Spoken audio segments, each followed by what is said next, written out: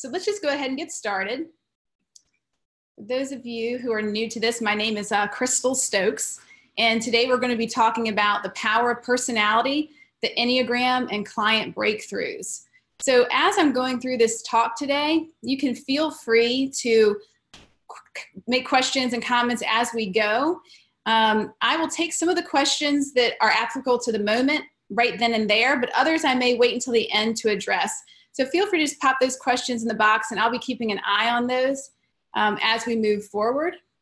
Um, and also at the very end of this talk, if you all want to stick around, there's going to be a very, very short poll, only five questions. And it's really helpful to us if you answer them because it helps us improve the quality of these talks going forward. So if you don't mind hanging out, then please do. So let's go ahead and move forward. Again, the talk today is the power of personality, the Enneagram, and client breakthroughs. And it's just a little bit of my background and gives you an understanding of why I'm speaking about this today. Uh, most importantly is the fact that I trained with David Daniels of Stanford University, who is one of the pioneers in the Enneagram. He's no longer with us, but he was an excellent mentor for me. And so, what I'll be sharing with you today is a lot of what I learned from Dr. Daniels. And at the very end of the presentation, you'll see here, I'll also be providing you with the Stanford inventory, a link, and also his book, where you can go to find out more about the Enneagram in case you are interested in using this with your clients or for yourself. You'll have those tools today at the end of the talk. So, to start with, we're going to dive into the nine Enneagram types. And I'll say before we get into that that this system is, is a bit complex and there's many different aspects to the Enneagram. So for those of you who are seasoned in the Enneagram, this will be um, just a nice overview for you. For those of you who, who are beginners, this gives you a taste of one of the core components, which are the nine personality types. But there's a lot more, so there's um, different aspects to this system that if you go down the rabbit hole of the Enneagram, you will be introduced to that we're not covering to the, today. So the scope of this is limited just to the nine types. And my goal is to help you see how you can connect this to your work with clients and facilitate breakthroughs or work through stuck points. So here's an image of what the Enneagram looks like. Uh, there are the nine points going around a circle with the type nine being on the very top. You'll notice that they're broken into different color categories and those colors represent what we call the three centers where the red color would represent uh, the body center. Uh, the green on this diagram represents the heart center, and the blue represents the head or the mind. Again, we're not going to get into what that means today, but I thought that'd be helpful to start uh, as an entry point. So let's get ready for those nine types and just dive right in. Starting with the first type, type one, which we'll refer to today as the perfectionist. Now, each of the types will have a core belief. This is the most important aspect to start with when you're working with any particular person. So, if you're trying to discover their type, or maybe you've already tested them and they do know what their type is, focusing on this core belief can be really helpful because this is often the number one thing that keeps clients stuck. So, the core belief for the type one I must be disciplined and do things the right way. You can just imagine the polarity there, the fixation on doing it the right way and what is their definition of right and wrong? And working with are there ways to be more flexible with that definition? So when you're trying to identify a type 1 some of the things you can look for is that they'll have very high standards uh, for themselves. And they take a lot of pride in doing things the right way. Many of the ones that i've worked with are the type of person that uh, they, they would maybe till 10 p.m when even the boss or the owner of the company went home at 5 and they stay because for them it's the right thing to do and, and they find it important to uphold their own level of integrity. They're also really good at seeing what's wrong and how things can be improved. Like their radar is always scanning for what could be better. So they love improvement. They also have a really strong inner critic and this is something that may go unnoticed to an observer. But when you're meeting with somebody and you suspect they may be a one um, asking them, you know, what's your internal dialogue like? How do you treat yourself? What's the what's the thought process that's going on here? You may uh, stumble upon that really strong inner critic that is indicative of a type one. So when we have difficulties in relationships and a person comes in and says, My husband's a type one and he's just so harsh and critical of me, what we notice is that the critic within that other person, the type one, is actually much stronger than what's being um, projected onto other people. So that's also a rich area to work with if you have a client who's a type one. Helping them identify their inner critic and soften their inner critic will then naturally create more softness and gentleness with those they interact with. Another aspect of the type one uh, is they have trouble giving themselves pleasure or engaging in fun because they're really just busy focusing on doing what's right. And just like the example I gave of a person staying at work till 10 p.m., they may have missed out on fun time with their family and friends, or leisure activities, or even self care. And lastly, they may come across as critical or demanding in the things that they want done right.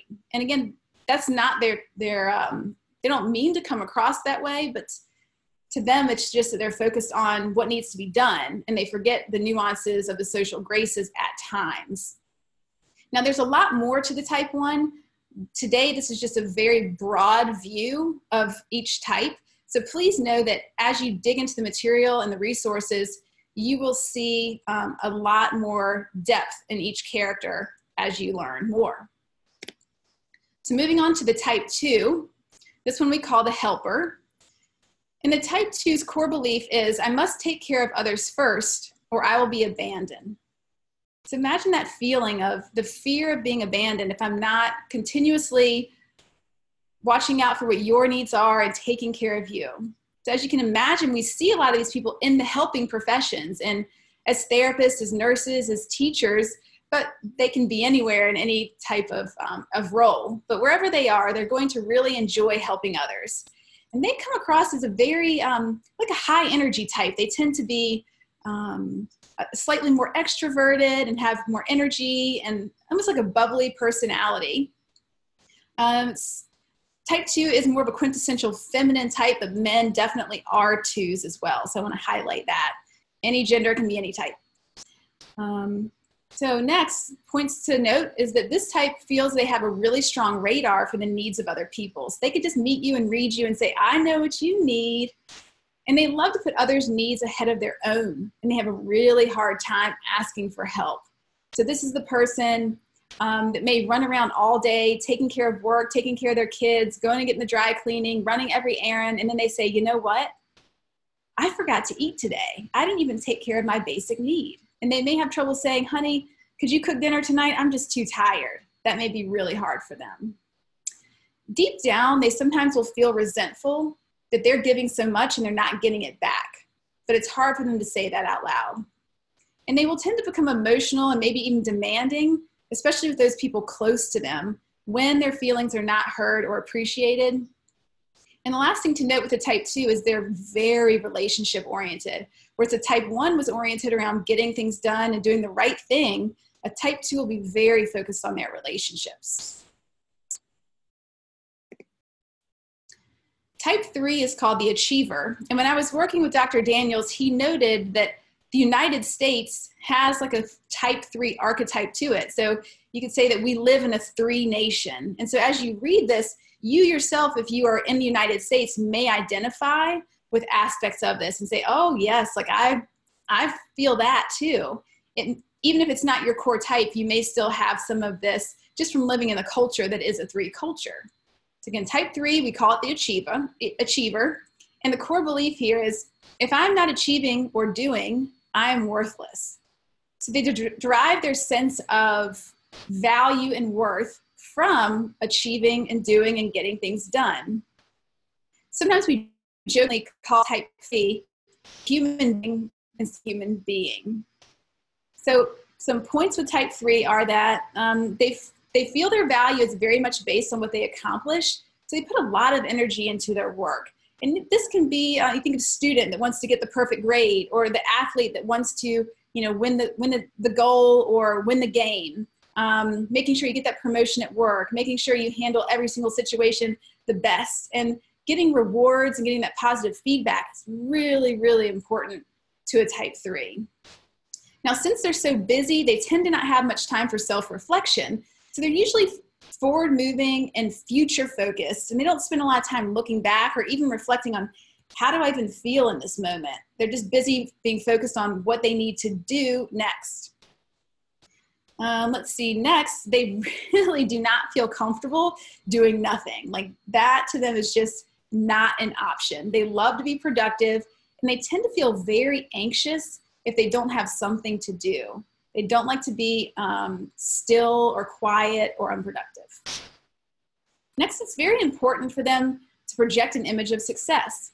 The type three uh, is very good at reading different situations and adjusting, almost like a chameleon, how they present themselves in each situation in order to appeal to that that group. So if they're um, with their teacher, they may be the perfect pupil. If they're with their sports team, they're the perfect athlete. If they're at work, they're the best worker. When they're with their partner, they're just a quintessential partner. So they really work hard to maintain this kind of moving image throughout different areas in order to appear successful. They're also extremely failure avoidant. Failure is just not an option. If they find they're starting to try something new and they're not right away good at it, there's a tendency to just want to give up. And I think I mentioned this before that approval and affirmations are super important to this type. They really love positive feedback, and that really drives and encourages them to keep moving and keep working hard. So, for those of you listening that are therapists, you can probably already imagine, again, the polarities that are happening here um, where we could bring more balance to this type by helping them to learn to enjoy stillness, to find their value beyond their achievements, um, and, and to be more self reflective. And what you'll find as you learn more about the Enneagram and various sources, there are many different growth paths that are suggested for each type, which we're not getting into today. But um, for instance, if you go to the Enneagram Institute website, they have the growth path information for each type, which is very helpful when you're working with clients. The type four, we call this one the romantic. And the core belief of this type is that there's something missing. So, whereas with type two and three having this kind of high energy, the type four will be a, a bit more reserved and definitely more introspective. This, of all the types, is the most emotional of types, so the most connected with their emotional experience. And as we know, emotions are constantly changing up and down, up and down. So to the romantic, that's their life is this up and down experience of feeling emotions and sensing that if I could just find that one missing thing, I'll finally feel better. Now, their emotions are felt very deeply, more so than many other people. So sometimes they've type four uh, romantic will will notice that others don't meet their intensity of feelings, and so they can feel a bit of a of a um, a lack of being met in that intensity. They really value authenticity and the freedom to express themselves. I'll notice this a lot when I work in corporate settings where there may be a type four within the team that feels that they are kind of stunted by the corporate umbrella that has them working in a very specific way and they just wish they could have more freedom of expression. And some fours have um, a, great way of expressing themselves in the way they dress. So they may have really cool glasses or they have a very like obvious style to the way they, they wear their clothes or their hair. And so that's another way to kind of pick out a type four in the crowd. Some people may say that type fours are overly dramatic or sensitive because, again, they do feel more deeply than um, many other types.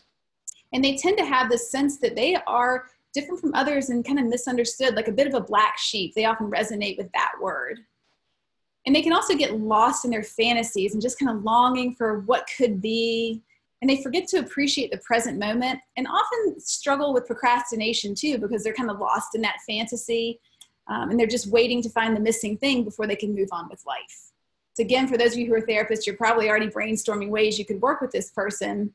But just being able to meet this person here, what I've just said, if they you can set, that sets a beautiful foundation for transformative work because they feel really seen. And that's, of course, one of the most important parts of a good therapeutic relationship.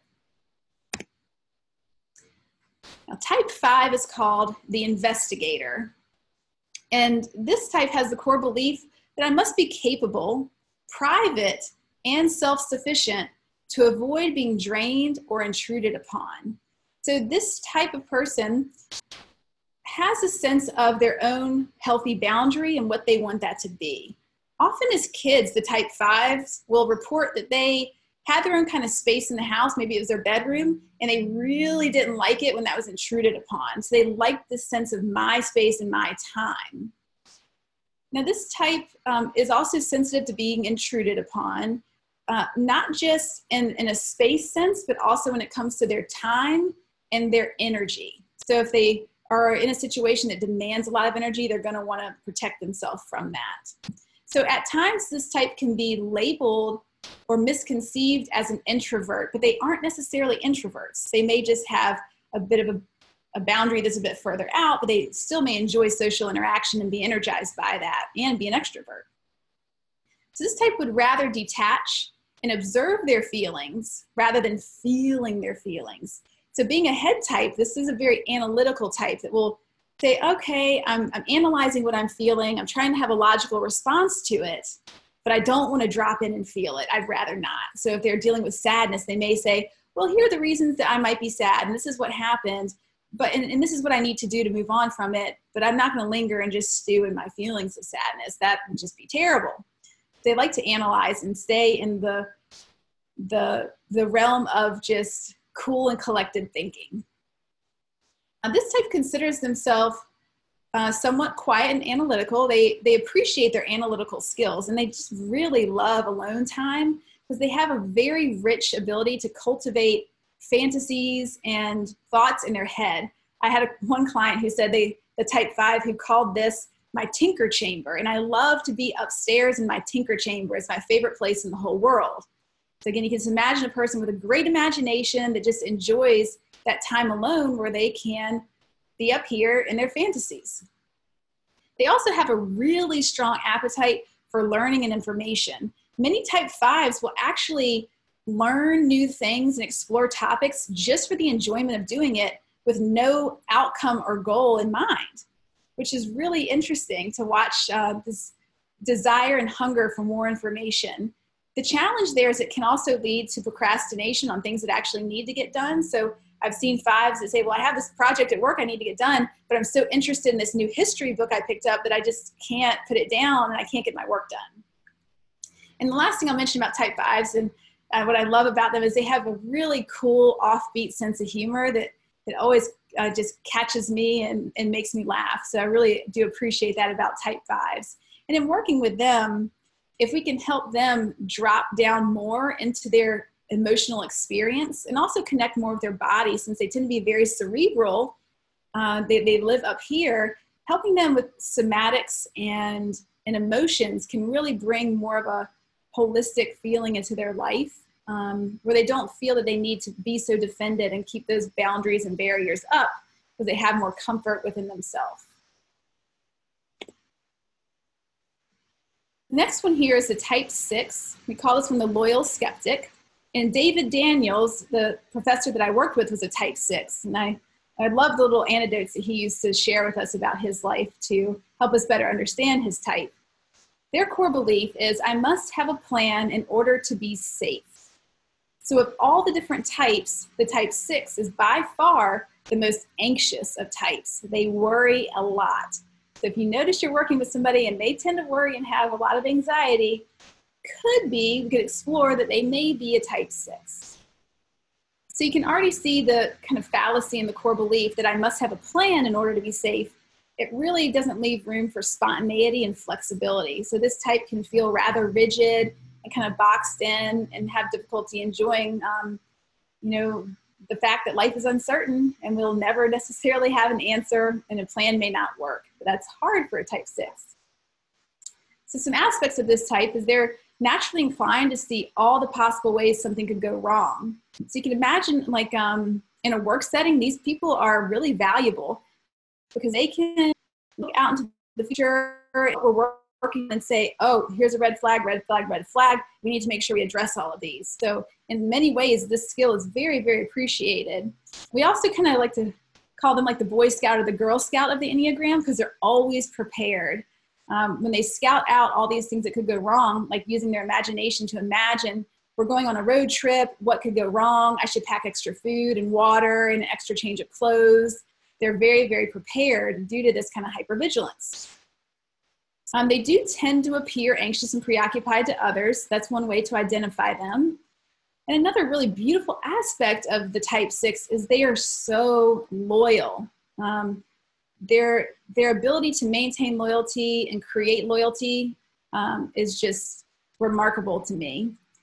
Um, but that's also important to know, like in relationships and friendships, including the therapeutic relationship, if their trust is broken, it is very hard to earn back.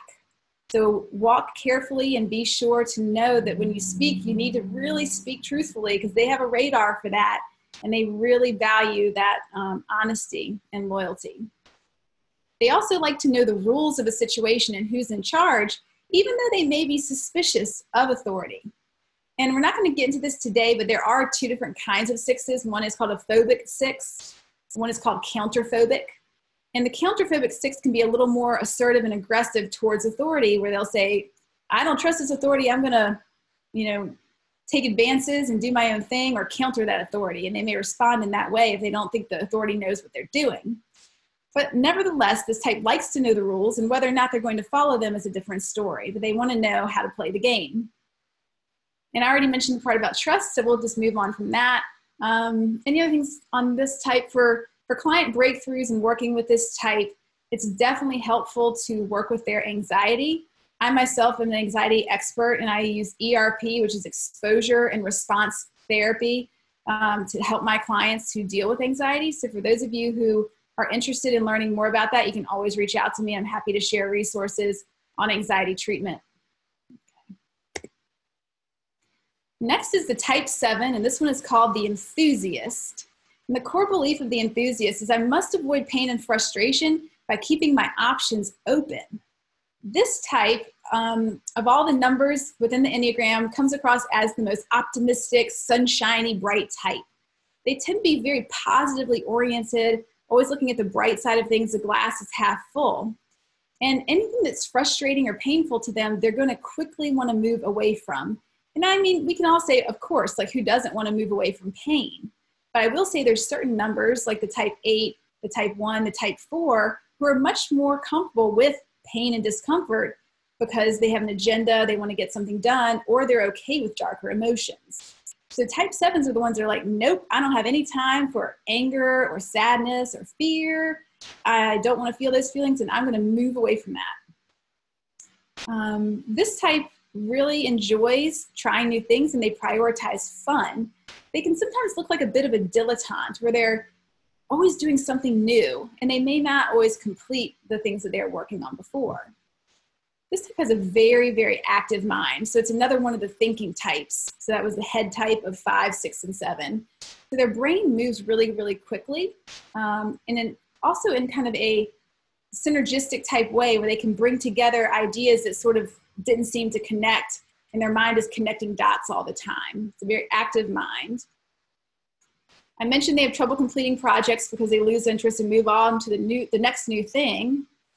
And they're also, um, when, when it comes to their optimism, they are very aware of how they're spending their time and they just don't want to waste it on negativity. So when there's a moment, say in a relationship where um, there's a type seven and then their partner comes to them and they're like, hey, there's a problem, like we need to work on this, the type seven be like, I don't want to waste time on this. Like, can't we just be happy? Let's just go out to dinner. You know, let's just move on.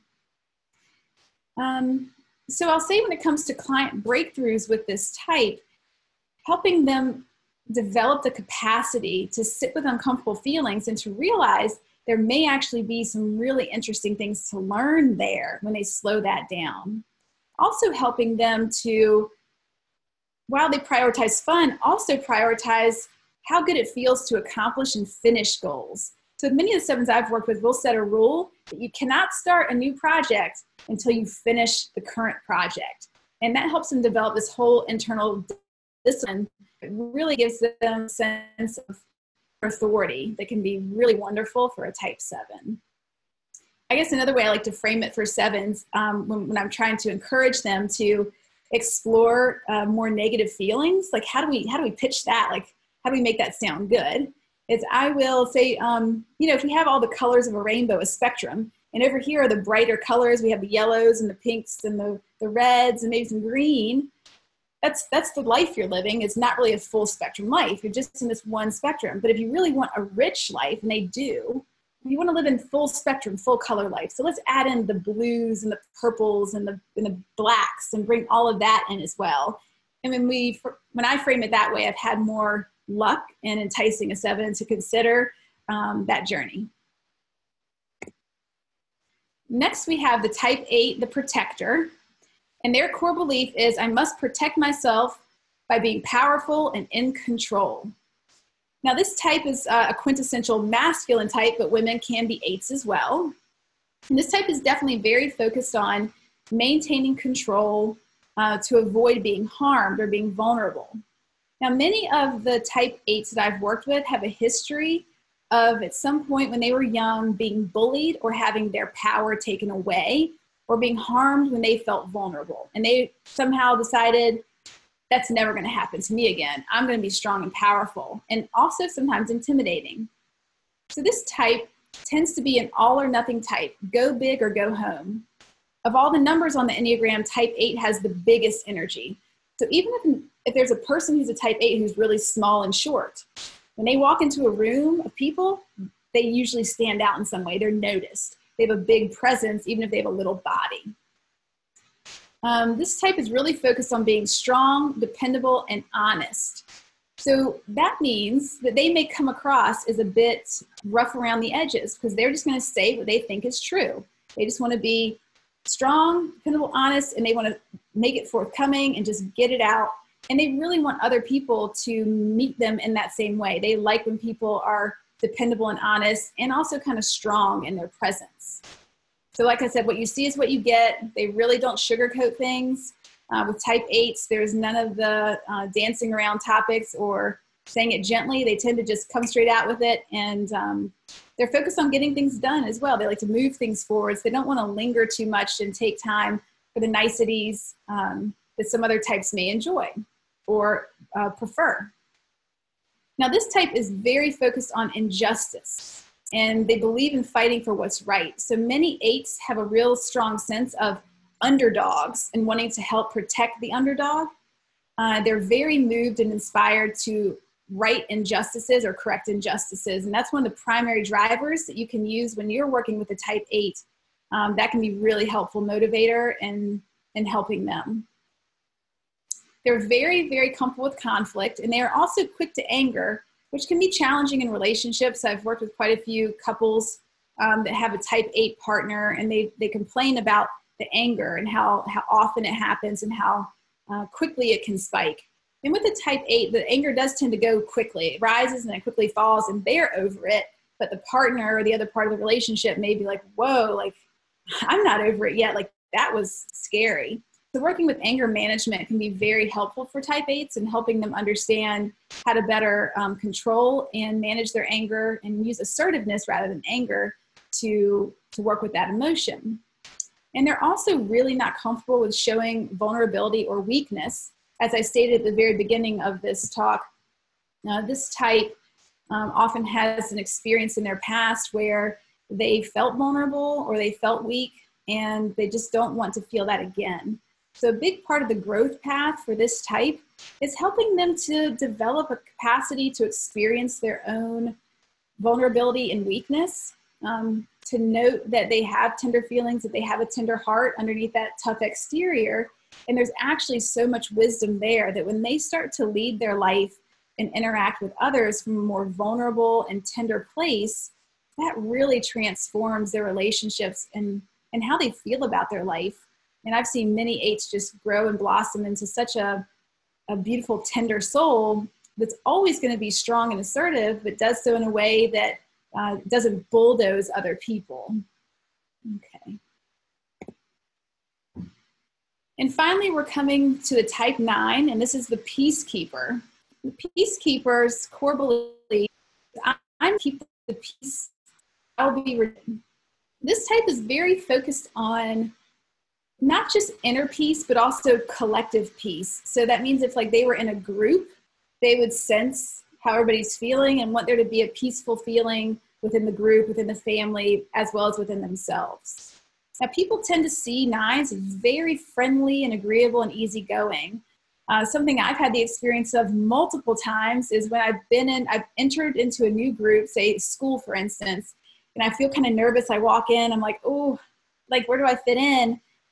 Um, having a nine somehow notice me in the crowd and come over and just be that friendly presence. It's like, hey, you know, welcome to the group, and just in a very gentle, peaceful way, just noticing and noticing my discomfort and then coming over and seeking to bring some peace to that moment of tension.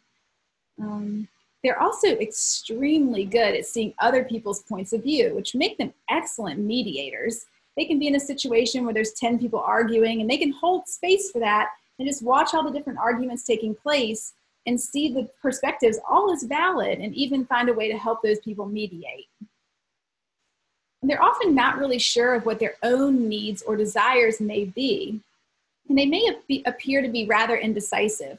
When I was in graduate school, my best friend uh, through that program uh, was a type 9, and I remember so many instances like where I'd say, Hey, you want to go get something to eat? And she'd say, Yeah, but I have no idea what I want to eat. And it would take her so long just to even contemplate what that might be. Or if you want to see a movie, I don't even know, like, what, what, what, what am I in the mood for? I can't decide. That can be really challenging.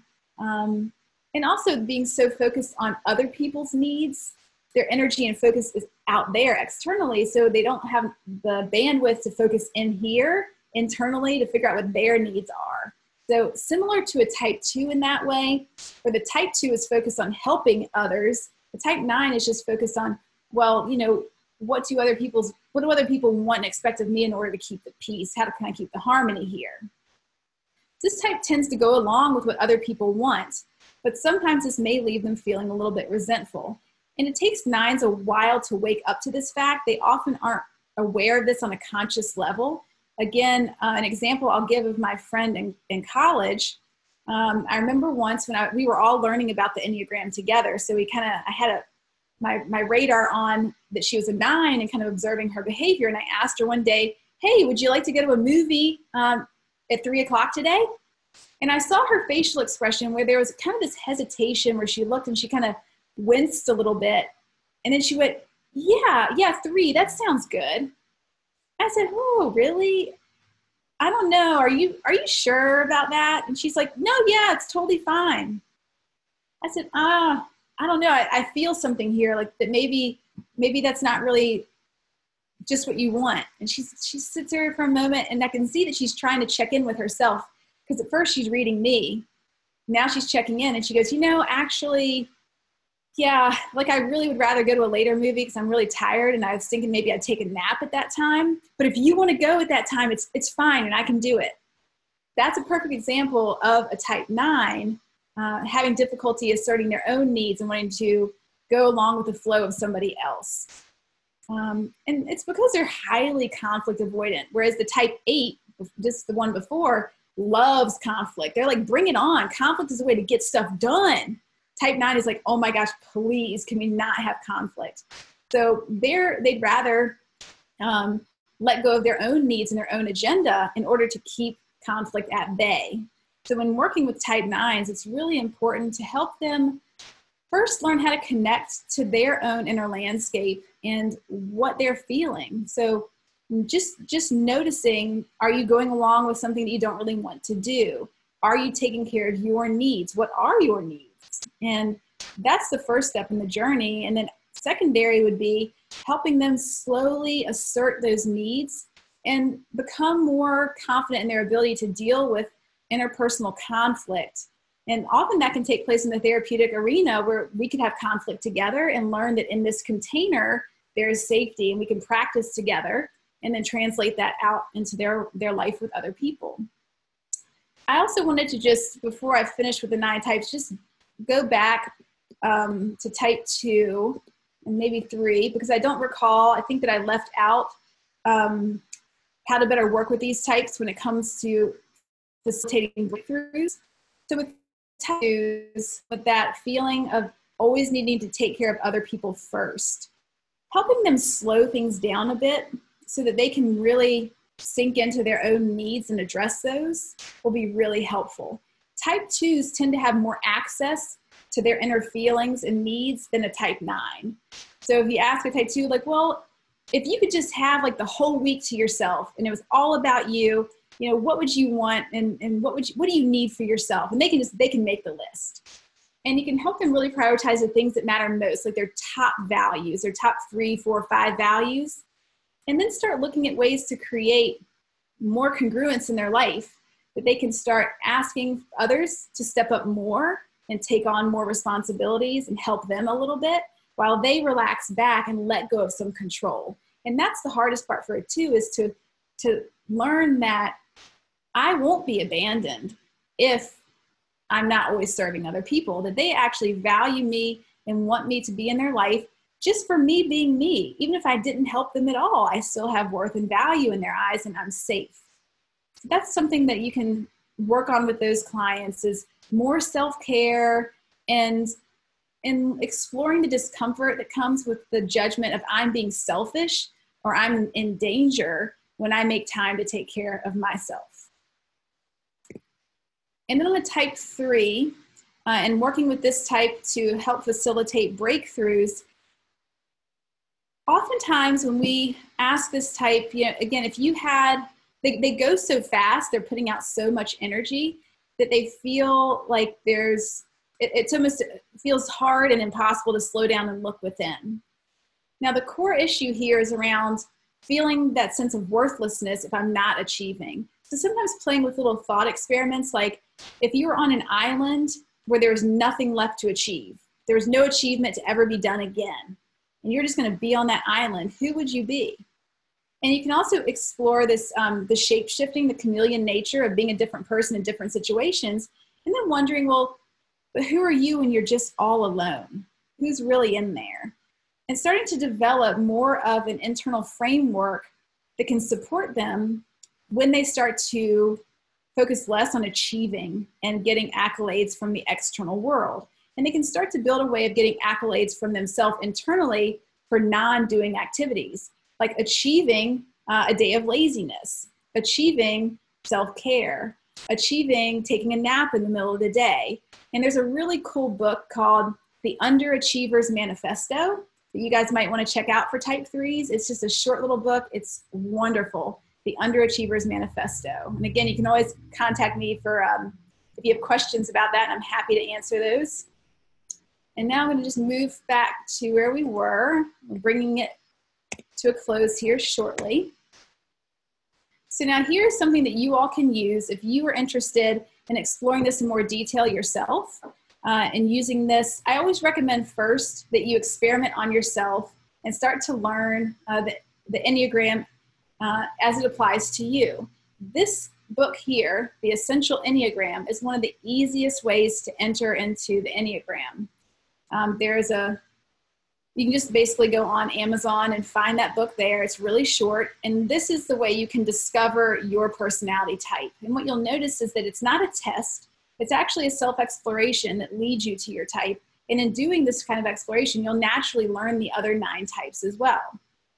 So it's just now from this essential Enneagram, uh, Dr. Daniels also created an inventory or an assessment that you can use, which is a very sh- a much shorter tool in order to help yourself or people uh, find their type.